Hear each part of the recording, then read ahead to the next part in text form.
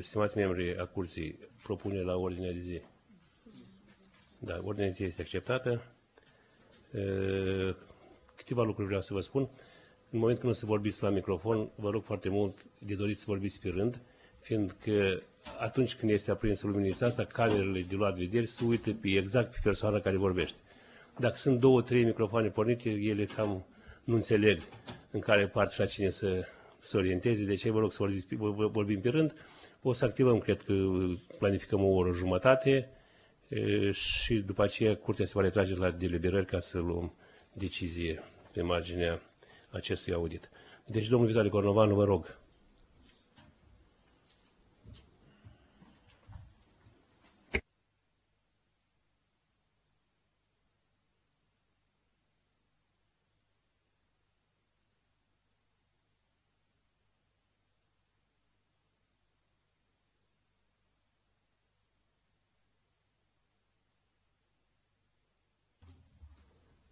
Este.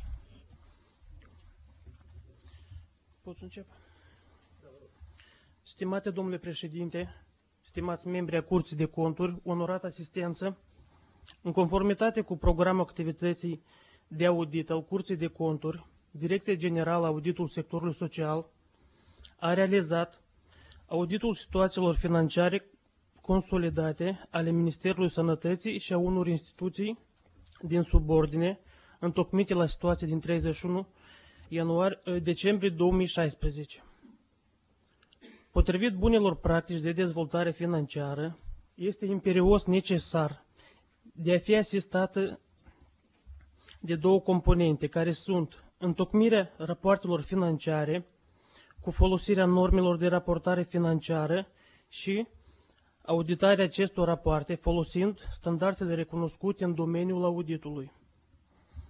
Actuala misiune de audit a avut drept scop oferirea asigurării rezonabile în ceea ce privește faptul dacă situațiile financiare consolidate ale Ministerului Sănătății și unele entități din subordine, întocmite la 31 decembrie 2016, sunt lipsite de, de naturări semnificative și oferă o imagine reală și fidelă, iar tranzacțiile financiare au fost efectuate conform reglementărilor în vigoare.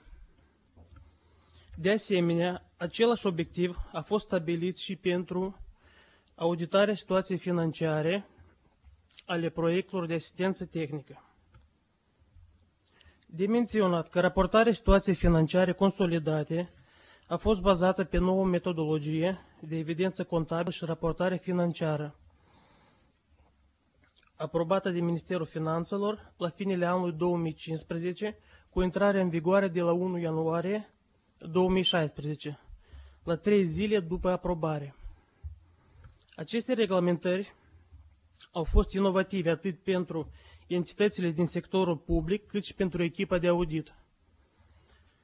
Rezultatele auditului sunt reflectate și prezentate spre audiere și aprobate în ședința de astăzi.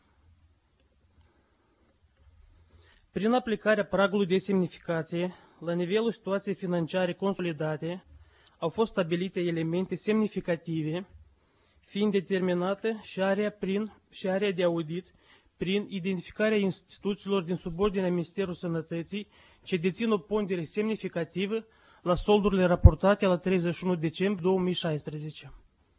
Astfel, probele de audit au fost acumulate în cadrul Ministerului Sănătății și șapte instituții din subordine, care sunt redate la ecran.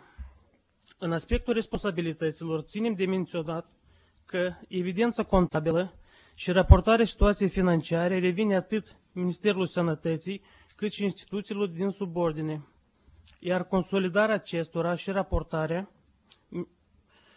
către Ministerul Finanțelor revine Ministerului Sănătății, Autoritatea Administrativ Publică Centrală și Fondator.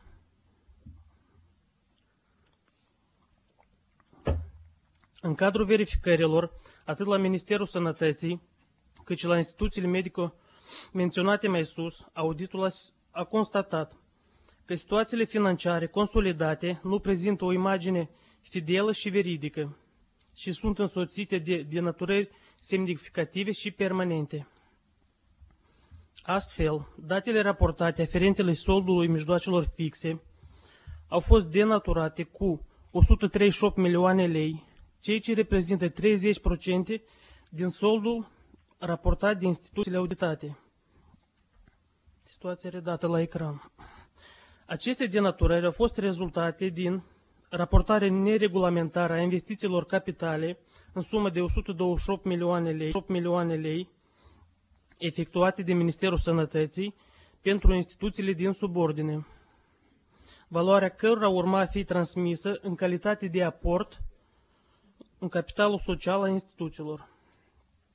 De asemenea, mijloacele fixe în sumă de 10 milioane lei au fost înregistrate neconform de entitățile auditate, prin atribuirea unor bunuri nespecifice mijloacelor fixe, precum și neatribuirea lor la conturile caracteristice. Verificarea de către audit a integrității patrimoniului public înregistrat și raportat a constatat utilizarea unor spații de către alte entități, fără achitarea plăților de locațiune în sumă totală de 0,9 milioane lei. În context se denotă că managementul Colegiul de Medicină Bălț nu a întreprins măsuri de remediere a situației privind actualizarea spațiului real utilizat de către un agent economic, precum și încasarea veniturilor aferente, precum și încasarea veniturilor aferente. Centrul de Excelență de Medicină și Farmacie Raisa Pocalo a actualizat suprafața utilizată de locatar, precum și a întocmit un grafic de achitare a veniturilor pentru perioadele precedente, cu semnarea acordurilor în acest sens. Spațiile semnificative cu suprafață de 489,7 metri pătrați, deținute de Centrul Național de Sănătate Publică, rămân, rămân a fi utilizate de Societatea Crucii Roșii, în lipsa documentelor și contractelor în acest sens. Pentru remedierea situației date, Ministerul Sănătății a elaborat și a transmis guvernului un proiect de hotărâre, care însă până în prezent nu a fost aprobat.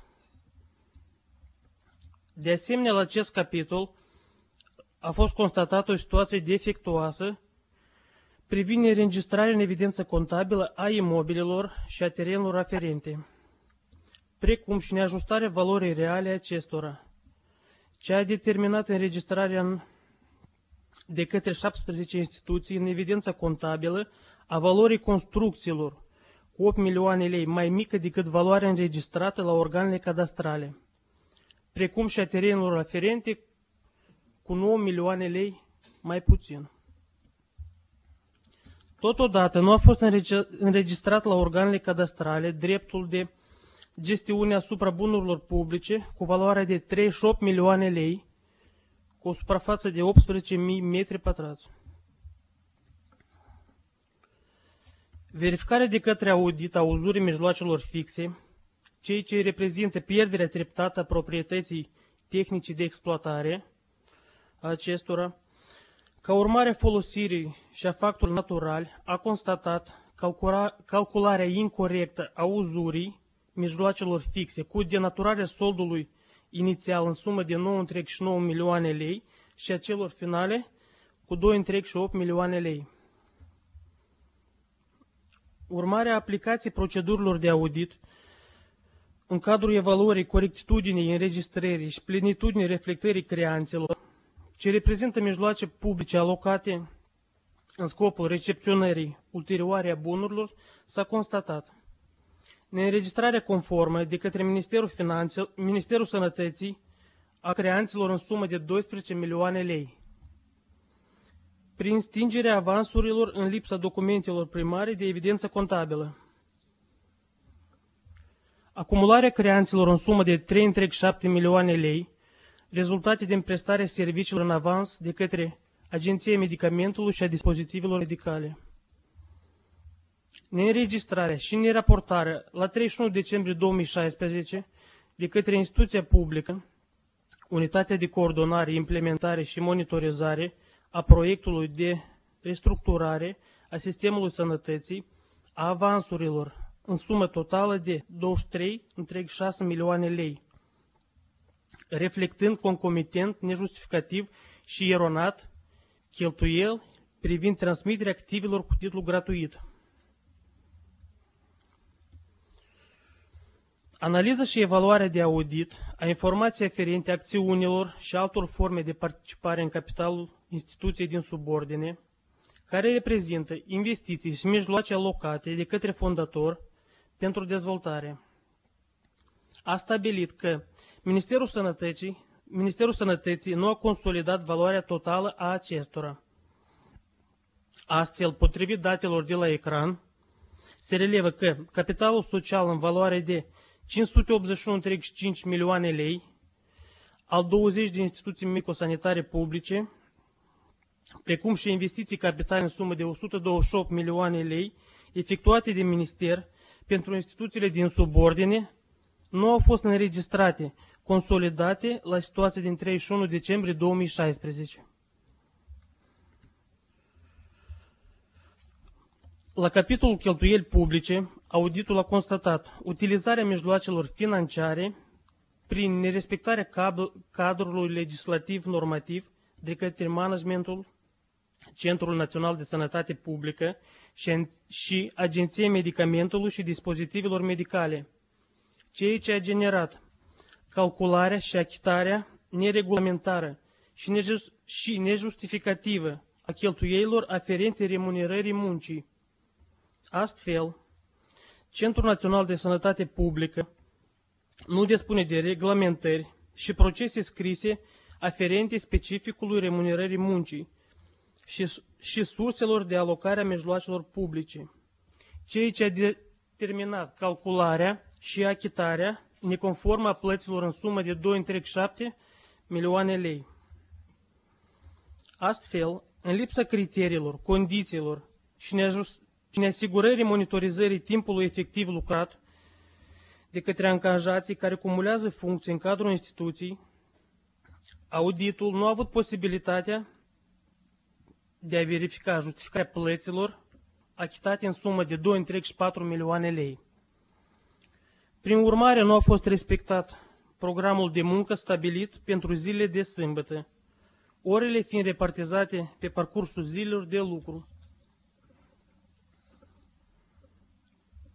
De asemenea, Centrul Național de Sănătate Publică, neținând cont de limita salariului tarifar și a sporului pentru vechimea muncă, precum și a reglementărilor privind retribuirea muncii, personalul implicit, nemijlocit, în prestarea serviciilor cu plată, a acordat plăți cu caracter stimulator și plăți privind sporirea volumului de lucrări în secții în sumă de 0,3 milioane lei.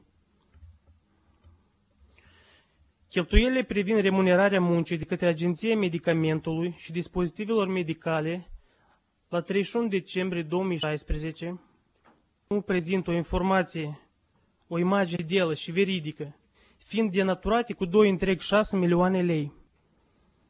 Atât din cauza nerespectării prevederilor legale și normative în vigoare, cât și a deficienței controlului intern.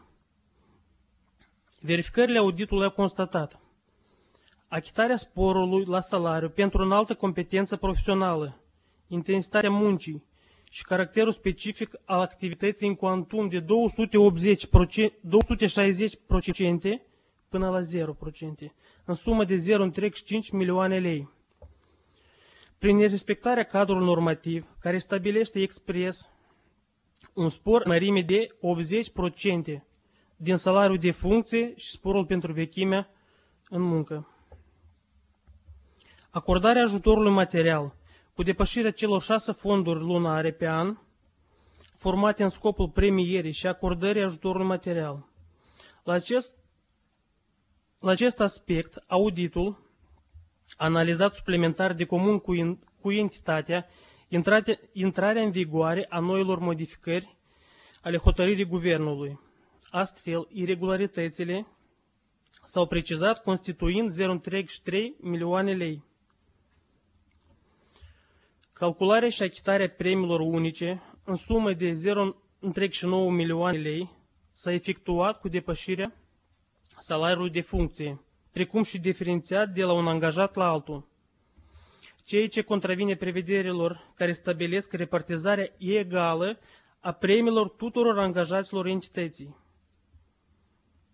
Achitarea sporurilor cu caracter stimulator în sumă de 0,5 milioane lei, în lipsa reglementărilor și proceselor scrise, persoanele, persoanele de conducere și altor angajați neimplicit, nemijlocit în, în prestarea serviciilor cu plată.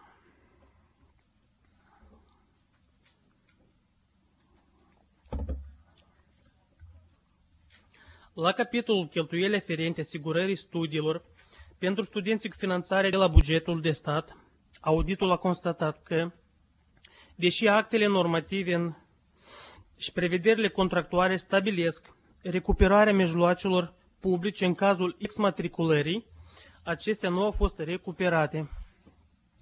De menționat că managementul a trei entități de învățământ din subordinea Ministerului Sănătății nu au elaborat și aprobat mecanismul, de, mecanismul și procesul necesar recuperării mijloacelor publice, ceea ce a determinat prejudicierea bugetului cu suma de 22,5 milioane lei.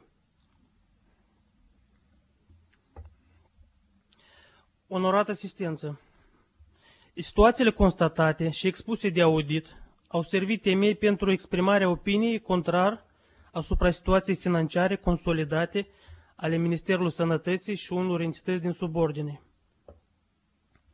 Referitor la cheltuielile aparatului central al Ministerului Sănătății, la situația din 31 decembrie 2016, auditul a exprimat unele rezerve aferente acestuia, determinate de admitere creanților privind calcularea uzurii mijloacelor fixe. La, la capitolul cheltuieli proiectul de asistență tehnică, componența programului Modernizare sectorului sănătății, s-a constatat înregistrarea în evidență contabilă și raportarea conformă a acestora. Ținând cont de deficiențele identificate, auditul a înaintat recomandări Ministerul Sănătății și instituțiilor din subordine, care au fost discutate și coordonate, astfel încât să fie realizabile și să aducă plus valoare entităților. De asemenea, echipa de audit a ținut cont și a reflectat în anexele de la raport măsurile întreprinse în scopul remedierii erorilor și problemelor constatate.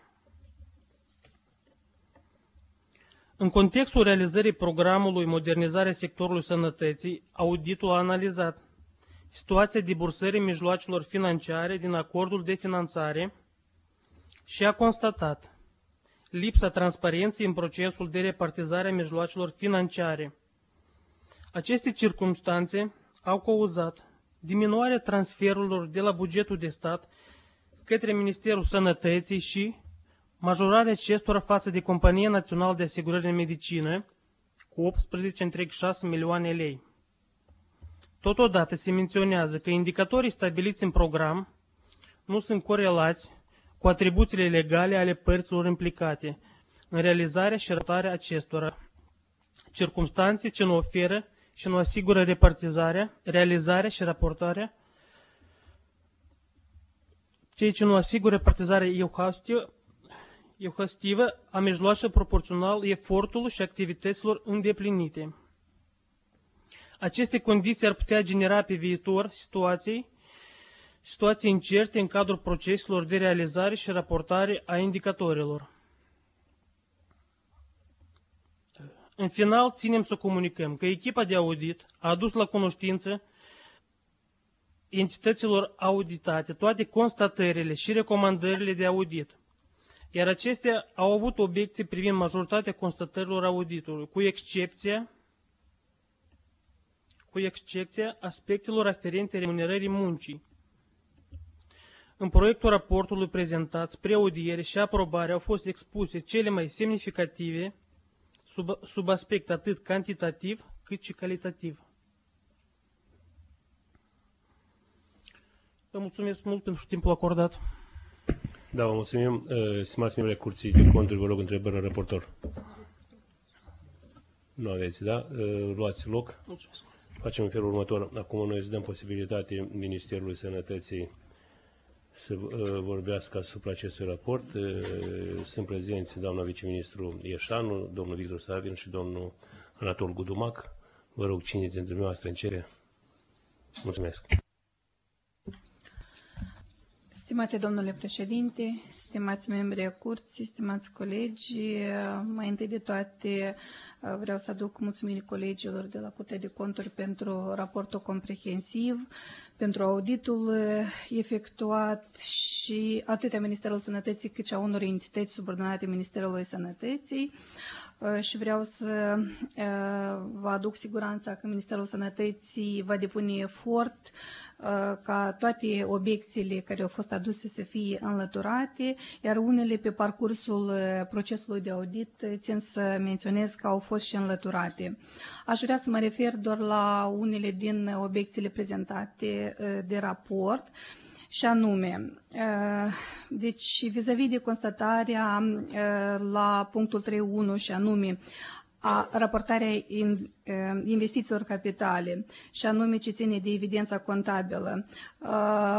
A fost explicat și în timpul raportului, cred că mă va completa și domnul Gudumac, contabilul de la Ministerul Sănătății, că, de fapt, Ministerul Sănătății, aceste îndrumări au fost efectuate conform anexii 3, și anume instrucțiunea Ministerului Finanței, numărul 93 din 19 iulie 2010, cu privire la aprobarea instrucțiunii cu privire la evidența contabilă. Și luând în considerație că cele entități care au fost elucidate în raport nu erau finalizate reparațiile și construcțiile capitale, ele se regăseau în contul 319, iar ulterior, după ce instituțiile vor definitiva atât procedura de construcții și vor fi înregistrate și modificat, de fapt, regulamentul instituției la Camera Registrării de Stat, ele vor fi transferate la uh, contul 415.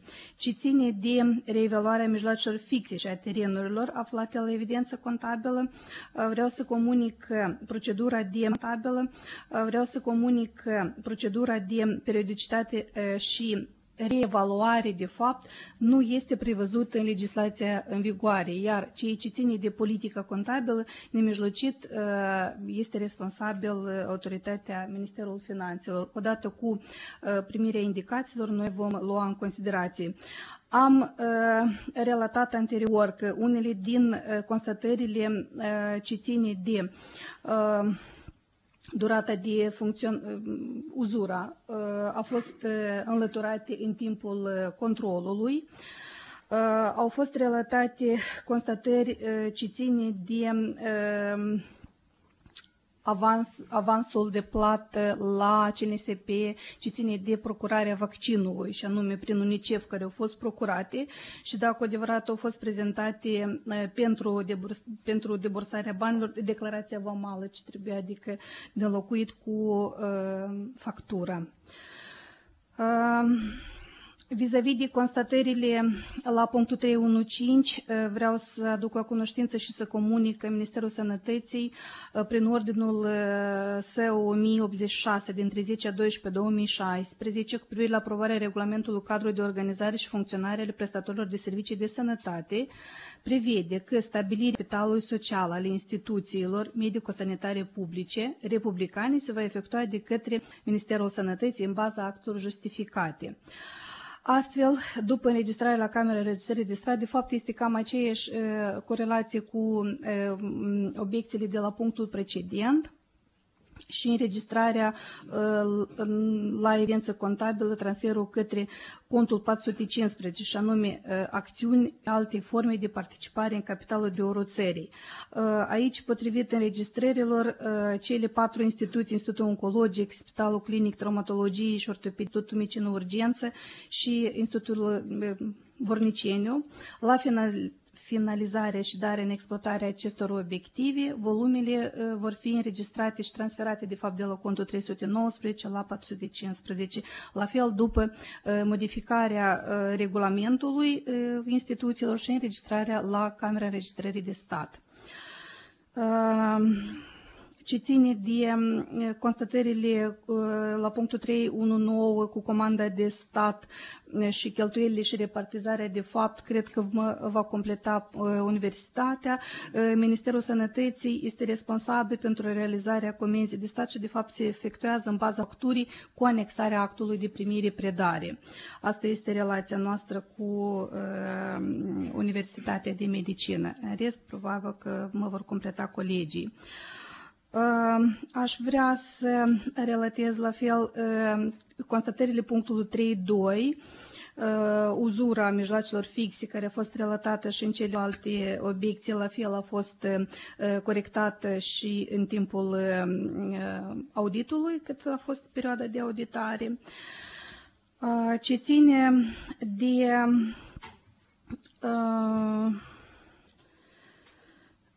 indicatorii de debursare, cred că o să-i ofer cuvântul lui domnul Hâncu și o să mă completeze și aș vrea să tez recomandările auditului precedent care au fost specificate la sfârșit ca și recomandări. Deci țin să aduc la cunoștință că în hotărârea curții din 22 Curții numărul 22 din 6 2014 privind raportul auditului operațional al proiectului Servicii de Sănătate și Asistență Socială, am avut ca și recomandare monitorizarea situației privind înregistrarea bunurilor acelor 79 de centri de sănătate. Astfel, pe perioada evaluării, țin să informez că mai fost înregistrate încă două centre, astfel rămân nu 33 de centre neînregistrate, dar 31. A fost înregistrat imobilul Centrul de Sănătate Iurceni, Nisporeni și Centrul de Sănătate Ciorești, la fel raionul Nisporeni. Astfel, noi periodic trimitem solicitare în teren pentru să le amintim că trebuie să înregistrăm înregistreze imobile și ultima solicitare efectuată de către Ministerul Sănătății și am trimis-o către centrele de sănătate înregistrate a fost la 20 aprilie 2017. Asta am vrut să relatez pe seama raportului, stimatele domnul președinte, stimați membri a curții. Țin să informez încă o dată și să constat faptul că Ministerul Sănătății va lua act de toate recomandările curții și în termenii oportuni ulterior ne vom strădui să înlăturăm toate obiecțiile, iar recomandările care sunt la sfârșitul raportului să le luăm în considerație. Mulțumesc foarte mult! Da, vă mulțumim, doamnă ministru. Eu rog o să vorbească mai departe de la Ministerul Sănătății cineva sau domnul Savin sau domnul Gudumac. În raport, dacă l-ați citit și eu sunt convins că l-ați citit, o să găsiți fraza care a, fost, a spus-o și domnul auditor principal. Prejudicierea bugetului de stat 24 milioane lei. Nu este o frază simplă, fiindcă fraza asta o să o ia în calcul și procurorul general. De aceea vă rog să vorbiți aici la, de unde s-au luat banii ăștia, cum s-a, ajuns la suma asta 24 de milioane de lei, prejudicierea bugetului. Asta înseamnă că banii aceștia au dispărut. Bun, vă mulțumesc. Cine, membrii curții, vă rog întrebări la doamna ministru. Vă rog, continuați ministerul, ministerul, ministerul cine din ministerul, că poate să continue. Onorat prezidium. Da, vă rog stimată audiență. Domnul Hâncu, da? Da, domn, sunt domnul Hâncu, Oleg Hâncu, coordonatorul proiectului Modernizarea sectorului sănătate. Cu referire la constatarea Curții de Conturi privind lipsa împărțirii sau acei responsabilități nemijlocite pentru indicatorii de debursare, să menționez că însă și acordul de finanțare cu Banca Mondială prevede că aranjamentele instituționale de implementare a acestui acord sunt prin cele naționale, adică respectiv Ministerul Sănătății fiind desemnat din partea Guvernului ca implementator acestui acord, deține responsabilitatea pentru toți 10 indicatori de, de bursare. Inclusiv aceste prevederi sau uh, aceste atribuții sunt stipulate și în regulamentul de funcționare a Ministerului Sănătății aprobate prin hotărârea 397 paralel, sunt mai multe activități care, sau unii indicatori care sunt realizate în colaborare cu Compania Națională de Asigurări Medicină, fapt pentru care banca a recomandat și a aprobat acordul de implementare semnat între Ministerul Sănătății și CNAM, astfel, ca urmare a recomandărilor Curții de Conturi, acesta urmează a fi modificat și ajustat pentru a stipula expres în cadrul acestui acord care indicatori și în, în ce proporții. Ce ține pe planificarea sumelor celor 167 milioane pentru 2016, inițial Ministerul Sănătății a planificat suma de 158 milioane lei la bugetul Ministerului Sănătății a fi debursate și 9 milioane lei la bugetul Companiei Naționale de Asigurări Medicină. Chiar anul trecut, prin hotărârea numărul 19 din iunie 2016, pentru realizarea celor trei, indicatorului 3 și 4, ce sunt de reducerea patului și reducerea internărilor acute, chiar Curtea de Conturi a confirmat că Ministerul Sănătății a realizat acești două indicatori, urmând a fi debursați la bugetul Ministerului. În rest, cam atât. Da, mulțumesc. Vă rog de la Minister și mai dorește. Cu permisiunea noastră, domn președinte, ați relatat fraza din permisiunea noastră, domn președinte, ați relatat fraza din raport, se referă la punctul 319. Eu am constatat că deci asta este comanda de stat pentru studenți, deci eu țin, cred că să oferim cuvântul universității, dacă permiteți, sau să terminăm noi ca și minister și Mă refer la fraza pe care dumneavoastră ați relatat-o. Noi o, să, noi o să ajungem la, da, mulțumesc. pe parcurs. Ministerul Sănătății, dacă vrea să mai... Ministerul, este doar de minister. Mai departe, pe entități o să mergem. Nu aveți, da? Bine, atunci eu rog colegii mei întrebări la minister sau la alte entități. Da, rog. Vă rog vreau domnul Nicolae Jelamski. Eu am așa o întrebare. Deci, conform um, constatărilor auditului, de unitatea de implementare și coordonare și monitorizare a proiectului în domeniul sănătății, au fost raportate și înregistrate cheltuieli cu privire la transmiterea activelor cu titlu gratuit către instituțiile medicale sanitare publice, în suma de 52,2 milioane lei, dintre care Acum eu deja vă spun, luând în considerație constatările auditului, 23,6 milioane lei nici nu fost la momentul transmiterei. Spuneți, vă rog, ce a fost transmis la instituțiile medicale? Mulțumesc. Mulțumesc pentru întrebare. Sunt Nicolae Jelamski, director executiv la Unitatea de Coordonare, Implementare și Monitorizare a proiectelor în domeniul sănătății. Uh, vreau și eu să mă alătur uh, doamnei viceministru, să mulțumesc echipii de audit pentru analiza efectuată și pentru acele recomandări care au fost uh, pronunțate și au fost aduse instituției, de asemenea și Ministerul Sănătății, cu referire la constatările care au fost menționate în raport și întrebarea dumneavoastră, Uh, vreau să menționez că unitatea pe care o am onoarea să o conduc este recipientul principal a Fondului Global pentru combaterea tuberculozei, HIV-SIDA și a uh, malariei.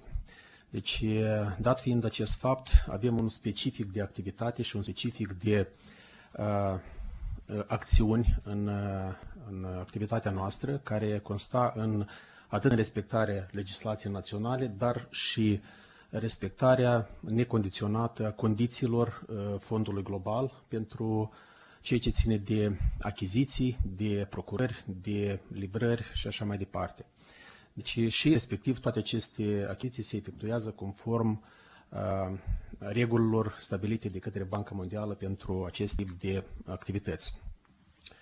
Cu privire la uh, întrebarea dumneavoastră, deci vreau să menționez că, uh, într-adevăr, au fost uh, depistate unele neconcordanțe în uh, ceea ce ține de raportare financiară, însă uh, acest fapt este dorat, uh, acest lucru este datorat de fapt faptului că uh, unitatea, uh, la recomandarea Ministerului Finanțelor, a implementat sistemul de evidență contabilă uh, 1C versiunea 8 și uh, Uh, ținând cont de faptul că o bună parte din achiziții efectuate de către unitate se face în, în valută, uh, acest sistem nu are, uh, de fapt, evidența contabilă valutară în, în valută. Respectiv, la sfârșit de an, unitatea efectua aceste raportări către Ministerul Sănătății cu ajustări, cu unele lucruri. Echipa ne-a tras atenție la acest fapt și acum unitatea a efectuat manual, a perfectat toate rapoartele valutare manual și a fost prezentate Ministerului Sănătății. Vreau să zic că întrebarea de fapt a fost cu raportarea acestor mijloace soluționată, însă totuși este un pas înapoi, acest lucru manual efectuat, sistemul ar fi bine ca Fisc Inform Service să totuși să prezinte și versiunea operațiunilor valutare. După cum a menționat și doamna viceministru, Ministerul Sănătății ultimul timp întreprinde măsuri de a efectua achiziții cu preplată, ceea ce a fost și efectuat pentru procurarea vaccinelor.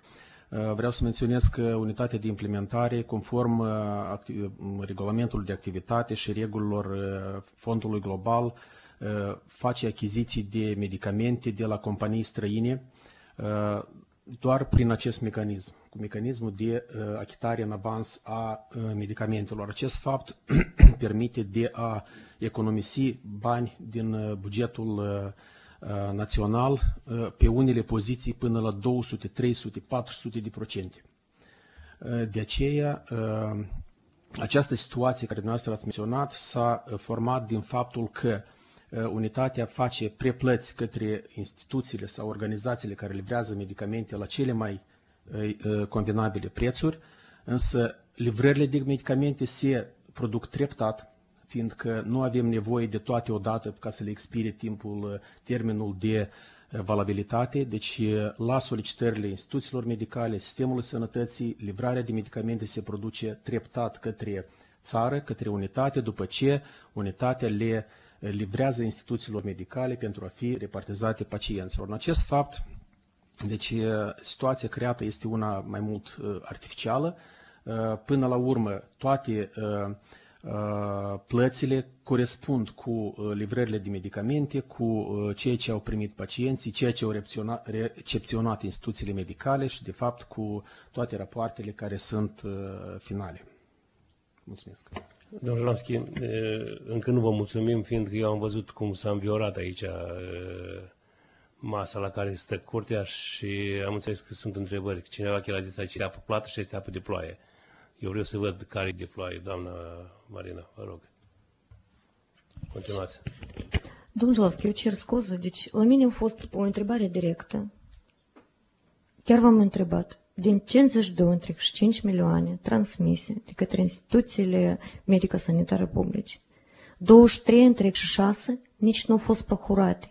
Eu înțeleg, eu, aici e scris, e foarte bine descris că au fost efectuate plățile în avans. Dar dumneavoastră n-ați primit medicamente. Ce ați transferat? Care, care medicamente au fost repartizate instituțiilor publice, neavând niciun medicament la moment? Ce ați repartizat? Aerul? Dacă îmi permiteți să dau cuvânt contabilului instituției să explice situația. Da, vă rog, da, să prezinte, domnul. Da, Nicolae Ivanov, contabilul UCIMP. Deci s-a raportat incorrect creanțele.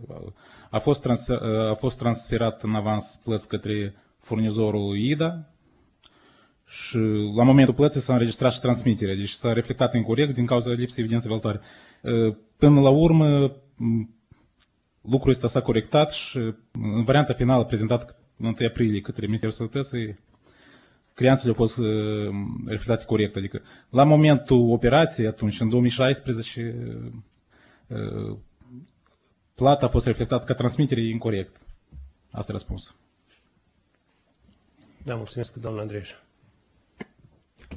Către conduce unității de implementare, vă rog. Spuneți, vă rog, cine a semnat acele documente în baza cărora dumneavoastră ați încheiat, ați închis această plată în avans către furnizorul, furnizorul extern în valoare de 23,6 milioane lei? 2. De ce la inventarierea anuală a posturilor contabile nu a fost depistată această eroare semnificativă, dar a fost depistată de către echipa de audit? Deci, care e situația la moment? A fost aceste medicamente, au intrat în țară sau nu? Și cum au fost uh, raportate această tranzacție către partenerii europeni? ca avans sau ca tranzacție închisă? Da, mulțumesc. Poate să iau de la capăt. Partenerilor externi le raportăm pe metoda de cască. Raportăm la momentul plății cheltuieli. Asta e conform regulilor de raportare către ei. Ce ce sunt de semnare, deci e vorba de înregistrare în evidență contabilă, adică au fost semnat ordinul de plată către, către furnizorul străin și, și înregistrat în evidență ca transmis. Deci nu a fost propriu-zis transmitere propriu-zisă. A fost corectat creanța la 31 decembrie 2016 și livrările în continuare au loc. Documente de transmitere nu au avut loc, deci a fost doar înregistrat transmiterea la momentul plății și respectiv corectat la 31. La moment au loc livrări, adică creanța, creanța care a fost avansurile plătite se valorifică pe parcursul anului 2017, vor fi valorificate integral.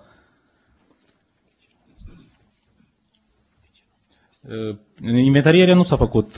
A, inventarierea la, anume la avansurile acestea nu s-a făcut la 31 decembrie 2016. Asta a fost recomandarea auditului ca urmare a auditului. Deci, urmează în viitor să facă inventarierea conform recomandărilor Curții de Conturi.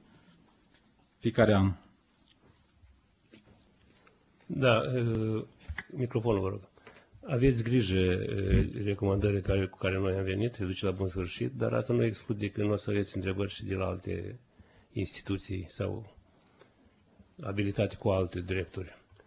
Bine, domnul Tean, vă rog. Către conducerea unității va fi o întrebare. Spuneți, vă rog, ținând cont de situația creată, noi am înțeles-o deja cu toții ce s-a întâmplat, erori și așa mai departe. Ce măsuri au fost întreprinse de către conducerea unității pentru a nu admite pe viitor asemenea cazuri? Și dacă au fost sau nu sancționate persoanele implicate în admiterea acestei erori? Mulțumesc pentru întrebare. Deci, în primul rând, am așteptat versiunea finală a raportului care este în stadiu de proiect și îl vom avea, cred că, după ședința de astăzi. După aceasta, chiar în timpul auditului, unitatea a întreprins unele măsuri. S-a menționat deja că a fost raportat, au fost modificate raportările către Ministerul Sănătății, efectuate manual și înlăturarea acestui, acestei probleme. Pe viitor, conform iarăși recomandărilor curții, am inițiat deja un proces de management intern financiar și control, chiar dacă avem o instituție foarte mică cu 12, 12 persoane fizice și conform statelor de personal, vom implementa mecanismul de control financiar intern de evaluare și respectiv vom ține la control toate acele recomandări și toate acele probleme care au fost menționate. De asemenea, iarăși conform recomandărilor curții, vom instrui unii colaboratori în perfectarea corectă a rapoartelor financiare, a evidenței contabile și vom ridica gradul de competență de fiecare a angajaților. Da, mulțumim, punem punct cu centru. Mergem mai departe, vă rog întrebări, membrii curții. La Agenția Medicamentelor și Dispozitivelor Medicale, vă rog frumos, cum argumentați achitarea sporilor, sporilor salariilor din contul mijloacelor speciale persoanelor neimplicate direct în prestarea serviciilor cu plată?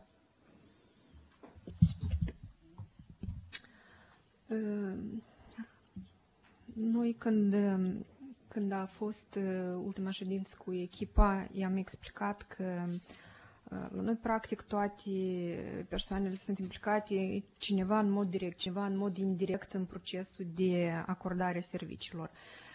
Pe lângă aceasta am transmis suplimentar la solicitarea echipei, am transmis harta proceselor din manualul calității, unde este deci nu știu, a fost primit harta aceasta, unde, unde se arată că toate subdiviziunile sunt implicate în, în procesul de acordare a serviciilor.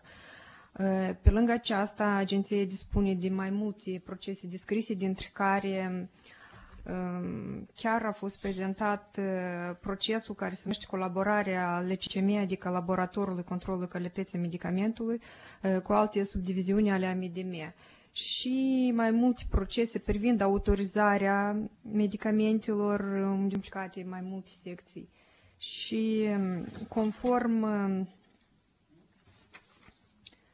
Conform hotărârii de guvern 348, ce ține de acordare cu privire la tarifele pentru serviciile prestate de către Agenția Medicamentului, punctul 12 spune la stabilirea costurilor serviciilor acordate de secțiile agenției, pe lângă cheltuielile aferente activității acestor secții, se includ și cheltuielile aferente, aferente activității secțiilor auxiliare.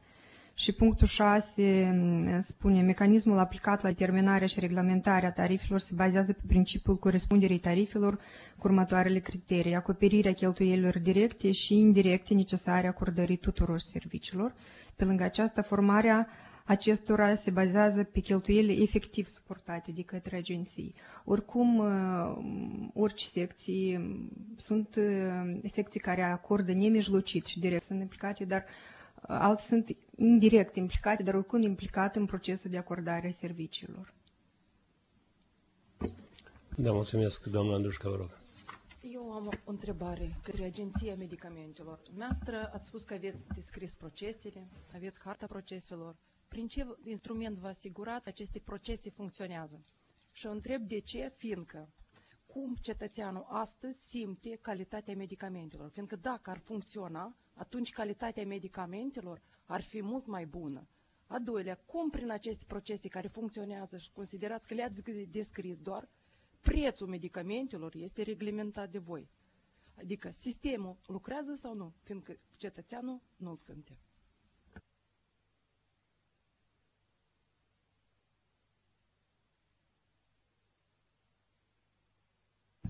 Ceea ce ține de, mecanism, de mecanism avem chiar o secție, managementul calității, care efectuează auditul către toate secțiile și verifică dacă ceea ce este indicat, adică fiecare proces este descris și este verificat corectitudinea, adică aplicarea acestui proces descris. Eu am în vedere produsul finit al agenției noastră este calitatea. Deci cum voi verificați calitatea medicamentelor când pleacă la cetățean, la pacient? Asta e întrebarea. Pentru că da, în interior aveți descris. Asta e întrebarea. Pentru că da, în interior aveți descris proces. Sunt sigură. Însă ele trebuie să, să influențeze asupra calității, asupra prețului care îl, primi, îl plătește astăzi cetățeanul. Calitatea medică... Noi știm a descrie, noi le facem, ele sunt frumoase, este harta procesului, designul procesului, ele sunt descrise, ele sunt puse în, în mapă și spus în dulap. Aveți o direcție specială care se ocupă de verificarea lor, însă ele trebuie să influențeze asupra uh, cetățeanului. Banul cheltuit pentru a descrie și a menține așa un staff, el trebuie să dea evaluare cui cetățenilor. Iată asta eu am întrebarea mea.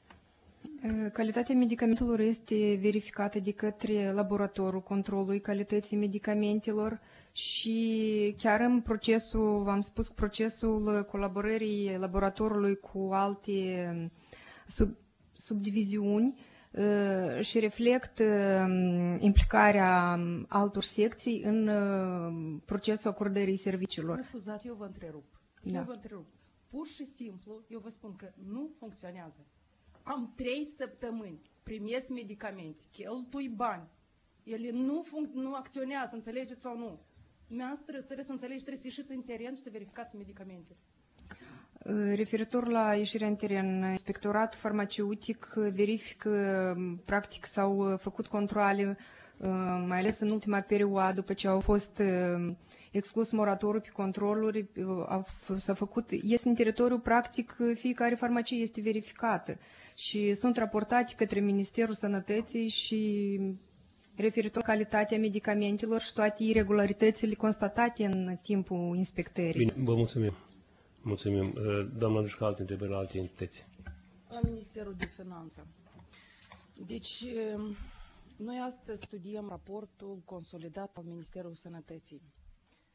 Pentru noi, practicienii, ne e clar ce înseamnă raport financiar consolidat. Este este un prim raport consolidat după un nou sistem care raport, cadrul metodologic a fost elaborat de Ministerul de Finanțe. Pentru unii, ca să fie clar, este o sinteză al activităților unei instituții și subordonate, toate cele subordonate ei, sunt reflectate în expresie valorică. Deci, după toate momentele ce sunt reflectate în bilanțul consolidat al Ministerului de Finanțe, Ministerului Țării, noi observăm deficiențe care sunt legate de cadru de raportare. Primul este faptul că în ordinul Ministerului se aprobă în decembrie, iar peste trei zile el trebuie aplicat. Asta e primul obstacol care poate oferi o calitate a raportului consolidat. Doi, nu se face raport sau ghid de utilizare pentru fiecare domeniu în parte. Aici trebuie să determine Ministerul cu domeniile de ramură, fiindcă noi astăzi venim cu instituțiile în, în cadrul curții conturi și venim cu situații nedeterminate. Chiar și acest cadru de raportare, Ministerul Finanțelor, fiți foarte atenți, fiindcă nu asigură eliminarea problemelor de cadastrarea patrimoniului, evaluarea patrimoniului statului, păstrarea anumit cotelor care au fost transmise în gestiune economică, fiindcă ele sunt reflectate în cadrul nou de raportare la valoarea transmisă în anul 2000, 2000 1999 sau când au fost transmise la moment. Însă valoarea lor justă la momentul actual e cu totul alta fiindcă s-a amortizat. De aceea, ce prevedeți dumneavoastră după un an de zile să uh, modificați în acest cadru de raportare? Cine e la Ministerul Finanțelor? Vă rog. Stimate domnule președinte, stimați membrii Curții de Conturi, la acest segment e necesar menționez că aveți dreptate că ordinul a fost aprobat în decembrie 2015, care va fi intrat în vigoare 1 ianuarie 2016. În acest segment În moment, colegii de la Trezorerie de Stat, metodologie și raportare lucrează privind îmbunătățirea și pregătirea ghidul, ori poate mecanismul sau determinarea privind mai clar evaluarea și funcționarea acestei Ordinul Ministerului Finanțelor. Totodată, Ministerul Finanțelor în prezent lucrează privind problemele și alte aspecte ce țin la competență și referitor la constatările Curții de Conturi, la punctul 319, referitor e necesar menționez că Ministerul Educației, în comun cu Ministerul Finanțelor, a elaborat proiectul hotărârii Guvernului, completarea hotărârii 923, care în prezent Ministerul Educației prezintă Guvernului și va fi promovată în modul stabilit. Și dacă permiteți la comentarii 4.1, referitor la diminuarea mijloacelor Ministerului Sănătății la suport financiar în cadrul proiectului modernizarea sectorului sănătății din contul împrumutului acordat de Banca Mondială, propunem ca recomandări de restitui de către companie de asigurări în medicină mijloacelor sumele respective în bugetul de stat. Mulțumesc foarte mult! Da, mulțumim și noi, domnul Muntean, are întrebări la dumneavoastră. Iarăși către Ministerul Finanțelor, pentru că vorbim de patrimoniu și de integritate. Spuneți-ne, vă rog, realitatea ne spune că valoarea bunurilor este departe de cea reală. Se întreprind careva măsuri de Ministerul Finanțelor într-o elaborarea reglementărilor cu privire la modalitatea și periodicitatea de reevaluare a bunurilor imobile, a terenurilor, proprietate publică.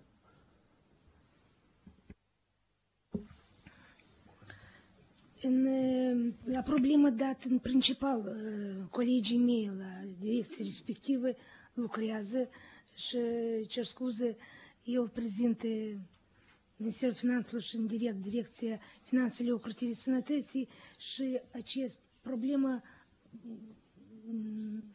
examinez Ministerul Finanțelor și vă prezint informație suplimentară. Da, dar mulțumesc. Noi am dat și recomandări la capitolul ăsta, dar vedeți că din vorbim.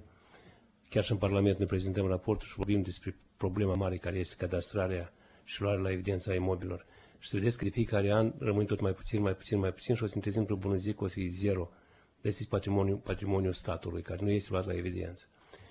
Bine, mulțumesc. Eu aș vrea totuși să revin la cele 24 de milioane. Doamna Cernețchi, doamna prorector, vă rog ne spuneți noastră care sunt măsurile. Da, stimate domnule președinte, onorată asistență, cu referire la subiectul care vizează uh, neîndeplinirea prevederilor normative în ce privește uh, colectarea resurselor financiare de la studenții care sunt bugetari, care sunt extramatriculați din universitate. Aș vrea să menționez următoarele, că în prezent Universitatea de Stat de Medicină și Farmacie Nicolae Testimițanu este unica instituție de învățământ superior medical care prestează servicii educaționale în pregătirea viitorilor medici și farmaciști în Republica Moldova și uh, serviciile educaționale prestate sunt determinate financiar de legea bugetului în, prin comanda anuală de stat, care este realizată de către Guvernul Republicii Moldova. În misiunea de audit se face la hotărârea de guvern numărul 923 și mai ales la în special la prevederea care este stipulată în contractul tip și nu însăși, în însăși hotărârea de guvern despre obligativitatea de reîntoarcere sau de rambursare a mijloacelor de către studenții care își fac studiile de a rambursa aceste mijloace financiare. Cu mare regret, până în prezent, metodologia de calcul per student a resurselor financiare nu este încă stabilite. Problema este foarte complexă și din cauza că în universitate nu se realizează studii individuale per student, ele se realizează în grupe de studenți și în cazul când un student este exmatriculat din grupă, procesul didactic continuu și resursele financiare deja sunt alocate. Mai departe, nu este clară această metodologie prin faptul. Trebuie incluse încoace cheltuielile aferente pregătirii studentului. Este vorba despre trai un camin și banii pe care îi cheltuie studentul, dacă este de introdus bursa sau nu de introdus și multe, multe altele. Vreau să vă spun că din punct de vedere financiar suntem în subordinea Ministerului Sănătății, iar din punct de vedere metodologic în subordinea Ministerului Educației și ne conducem de anumite prevederi ale acestui minister și împreună cu alte universități, pentru că aceasta, zice, este o problemă globală pentru Republica Moldova, nu numai pentru universitatea noastră, dar pentru toate universitățile care prestează servicii de instruire bugetare. Ne-am adresat din nenumărate ori Ministerului Educației și aș vrea să vă aduc la cunoștință că chiar în prezent, în perioada 25-28 aprilie, Ministerul Educație a organizat o misiune de experți sub denumire Misiunea de experți în dezvoltarea formule de finanțare bazată pe performanță pentru învățământul superior în limitele programului TAEX, unde participă experți internaționali și toate universitățile, iar în cazul acesta va fi stabilit nu numai mecanismul de calculare a cheltuielilor per student, dar și criteriile uh, clare a categoriilor de studenți care trebuie să reîntoarcă aceste resurse financiare. Pentru că, după cum se știe, în anul 2013 a mai apărut o nouă hotărâre sau a fost aprobată o nouă hotărâre de guvern numărul 212 cu privire la ocuparea de către studenți a locurilor cu finanțare bugetară în învățământul superior de stat. Iar conform acestei hotărâri, toate locurile cu finanțare bugetară anual sunt scoase la, la concurs. De aceea, un student el pe parcursul studiilor, un an poate să învețe la studii bugetare, un alt an la studii prin contract, astfel, final, să zicem, a ajuns la noi învață șase ani de zile la Facultatea Medicină, a ajuns la anul 4 și atunci cum să-l calculăm? Cum, care este forma de studii a prezentului student. Să zicem că ultimul an de la care a fost exmatriculat, dar ce înseamnă exmatriculat? Fie pentru nereușită, fie a plecat singur. A plecat de la studii prin contract. Atunci, dar el doi ani a învățat, să zicem, la buget în anii precedenți. Atunci, care ar fi metodologia în cazul acesta? Iată, toate aceste probleme au fost puse în fața misiunii de experți care în prezent lucrează la Ministerul Educației și chiar astăzi este prezentă la ora 20.30 în universitatea noastră pentru a face calculele respective. Vă mulțumesc. Doamna rector, mai are întrebarea noastră, domnul Muntean. Deci, cu referire la faptul că nu puteți stabili costul studiilor pentru ăștia exmatriculați de la buget, spuneți, vă rog, dumneavoastră aveți studenți la contract. Cum le stabiliți costul studiilor? Aveți un calcul, doar o bază.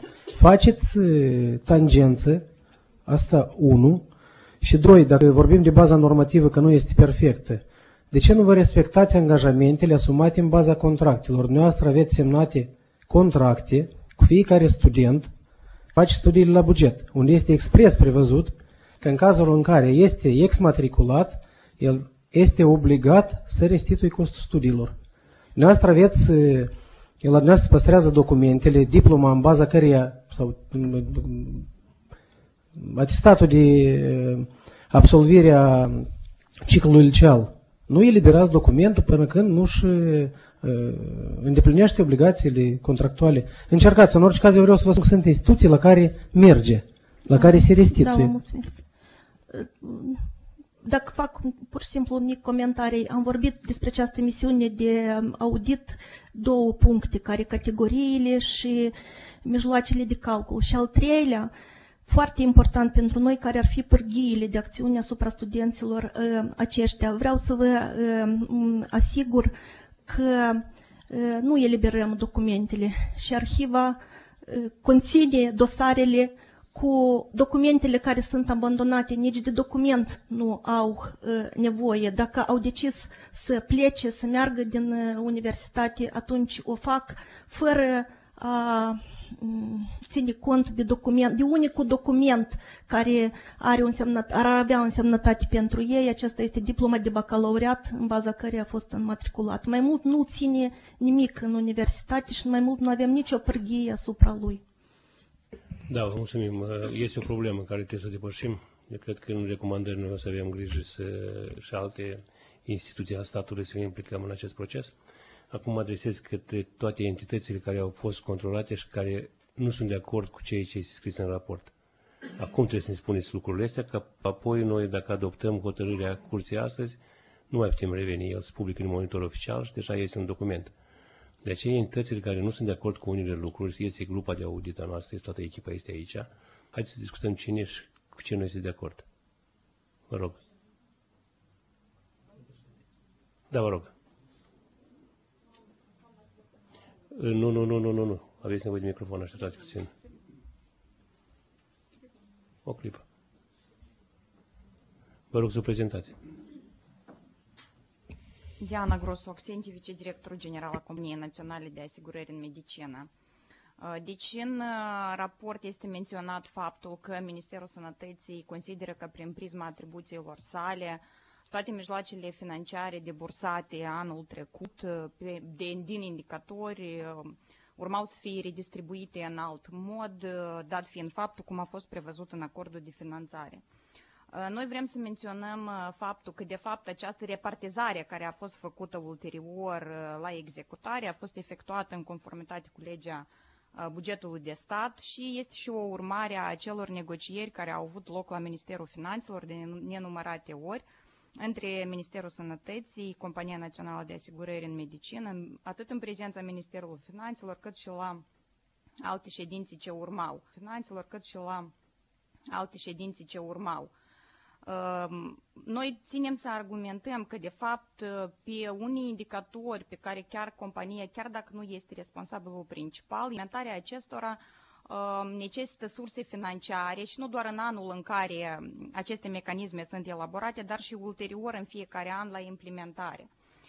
Respectiv, dat fiind faptul că fondurile de asigurări obligatorii de asistență medicală dețin în ultimii ani 80, iar în anul 2016 chiar 87% din totalul cheltuielilor de sănătate, impactul tuturor măsurilor de politici, de fapt, este asupra noastră și considerăm că acea repartizare care a fost efectuată a fost efectuat ținând cont de specificul anului 2016 și disponibilul surselor din bugetul de stat.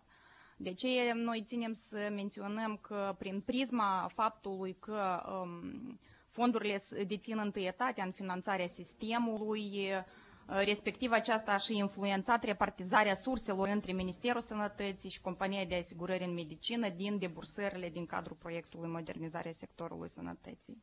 Mulțumesc. Da, vă, vă mulțumesc. Diana Grosu Accenti, Compania Națională de Asigurări în Medicină. Eu cred că, nu știu, noi să discutăm în deliberări, dar posibil că noi să venim cu recomandare ca totuși nu să mergeți în subordine Ministerului Ocrotirii Sănătății, atunci lucrurile se așează de la sine, o să fie nevoie de explicații suplimentare. Mulțumesc. Eu vreau să o întreb pe domnul director al Centrului Național de Sănătate Publică. Sunteți de acord cu neconformitatea la cel 2,4 milioane de lei? Mulțumesc de întrebare, stimate domnule președinte, mulțumați membri a curții. Referitor la suma elucidată în, în raport de către echipa de auditori, vreau să relatez că această abatere din toate subdiviziunile instituției a fost constatată doar într-o singură subdiviziune și reflectat calculul pentru an de zile pentru toată instituția, ceea ce considerăm în viziunea noastră că cifra este, nu este acea care reflectă obiectivitatea în cazul ăsta, dar totodată vreau să zic că după ce auditorii curții au activat și pe parcursul activității dânșilor, noi am realizat mai multe sarcini, am lichidat mai multe neajunsuri, inclusiv am făcut corectările de rigoare în tabelul de pontaj pentru această subdiviziune la care m-am referit mai sus.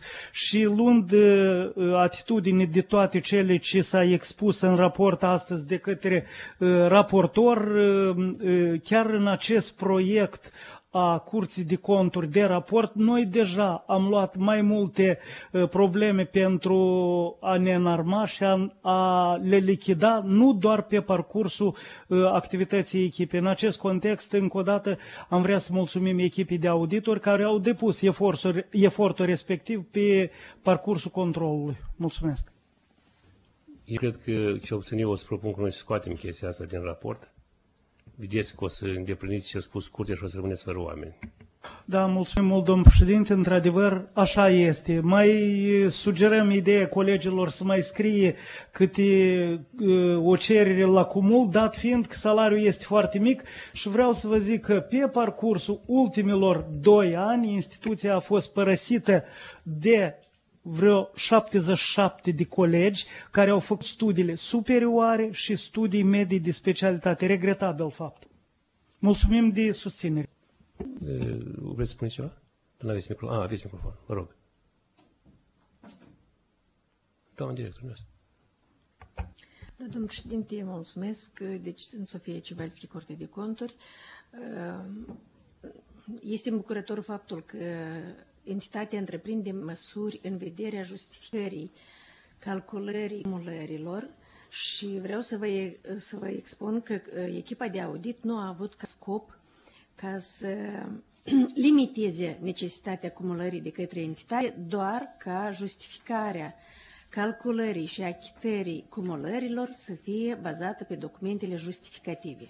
Astfel, vreau să vă atrag atenția că în ordinele inițiale de cumulare a fost stabilit că persoanele ce vor cumula funcțiile vor activa zilnic de la 15 ora până la ora 18.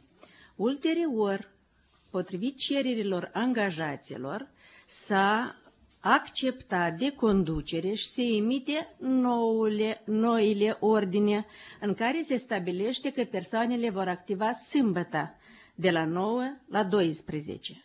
În tabelul de puntaj, care a fost verificat și trebuie să fie în strictă corelare și interconectare, interconexiune cu documentele justificative, se stabilește că persoanele de fapt activează 2,3 ore.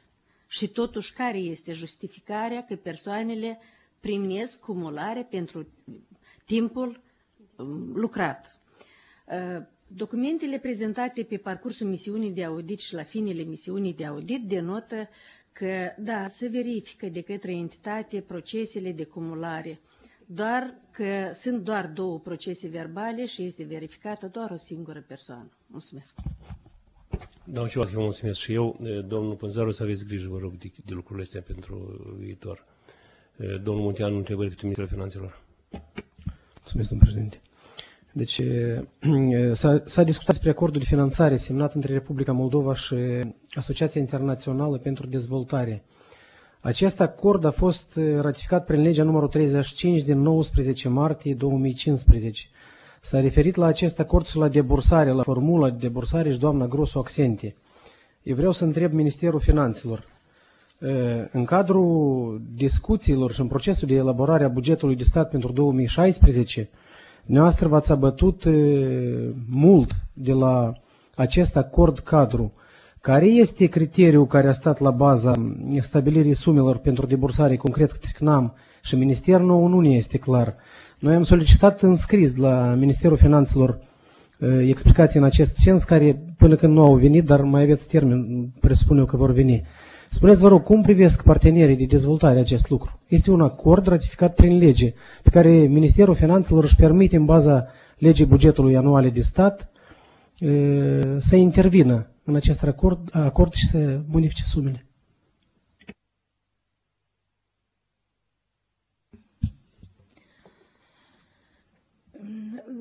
Acest segment e necesar menționez că, conform legii 181, articolul 51, anual la elaborarea legii bugetului de stat, APC prezintă propuneri și calcule argumentate la proiectul legii bugetului de stat pentru anul bugetar. Reșind din acesta, la etapa consultării la Ministerul Finanțelor, conducerea companiei a avut m, propuneri privind, redistribu privind uh, redistribuirea acest volum care prevede în acordul uh, la uh, cadrul proiectului modernizare sectorului sănătății. Reșind din acestea, în legea bugetului uh, sunt aprobate sume respective conform propunerile care a venit de la APC 2 Ministerul Sănătății și Compania Națională de Asigurări în Medicină și respectiv conform legii bugetului de stat a fost efectuat, a fost debursat acești sume și finanțat de către trezorerie de stat. Mulțumesc, eu doar vreau să atrag atenție și să rog mult, atunci când examinați propunerile autorităților administrației publice centrale, cu referire la 181 lege, țineți cont de faptul că când le acceptați, nu încălcați alte legi. În cazul dat, concret, legea 35 din 19 martie 2015. Mulțumesc. Asta am vrut să, să accentuez, fiindcă acordul cu Banca Mondială sau cu partenerii de dezvoltare este mult mai presus decât legea, mă scuzați legea bugetului. Trebuie luat în calcul acest lucru, fiindcă în cazul de față auditul va veni, va veni cu opinii contrară și atunci să fie altă situație. Vreau să întreb conducătorii entităților dacă mai au ceva de spus și doamna ministru dacă vreți la sfârșit, la fine. Mă rog.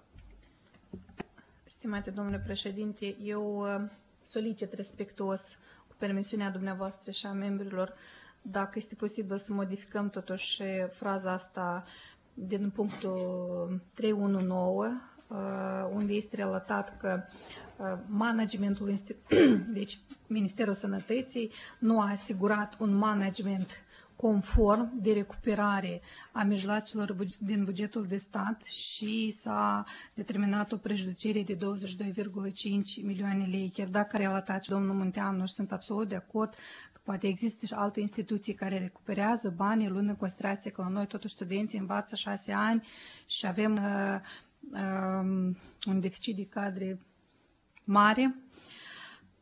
Solicit respectuos ca totuși să modificăm fraza asta să nu sune atât de, de lapidant și de dur și noi ne asumăm responsabilitatea și odată ce a zis și doamna Cernețchi că în urma consultărilor și programul care este inițiat și cu Ministerul de Educație respectiv să venim pentru anul viitor cu instrumente de reținere a cadrelor medicale în sistem. Mulțumesc tare mult!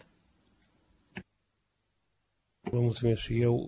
Vreau să întreb alte entități, conducătorii altor entități, vor să implice în discuție. Atunci facem felul următor. Noi vă mulțumim pentru participare și Curtea de Conturi se retrage pentru deliberări. Nu sunteți liberi. Noi o să luăm în calcul ceea ce a spus dumneavoastră în discuțiile în deliberări. O să luăm decizii și hotărâri asupra procesului care l-am discutat astăzi Vă rog foarte mult să luați în calcul recomandările noastre, fiindcă Curtea de Conturi, în nouă componență, are uh, niște obiective strategice, cum ar fi finalitatea și impactul la toate controlele noastre. Deci noi neapărat deja nu o să dăm recomandări 6, 18 luni, nu, nu, ele sunt mult mai scurte. Și noi, fiindcă ies așa că venim peste 2 ani de zile, dar nu mai e conducătorul care a fost, este altcineva și parcă n-ai tot dreptul să-l întrebi de ce nu s-a îndeplinit recomandările. De aceea noi să facem recomandări mai scurte și noi să venim peste o perioadă de șase luni de zile, o zi și cu un control, cu un follow-up și o să vedem cum se desfășoară activitățile la noastră. De aceea nu vreau să vă spun că codul contravențional mai prevede și niște amenzi pentru chestia asta, în niciun caz, dar uh, aș vrea ca uh, să ne respectăm munca fiecare dintre noi și credeți că o să fie pe viitor mult mai puține recomandări, dar uh, ele o să fie în așa mod ca să aveți și posibilitatea să le îndepliniți în termenii care vor fi stabiliți de curte. Vă mulțumesc, vă doresc succes, să aveți o activitate fructuoasă.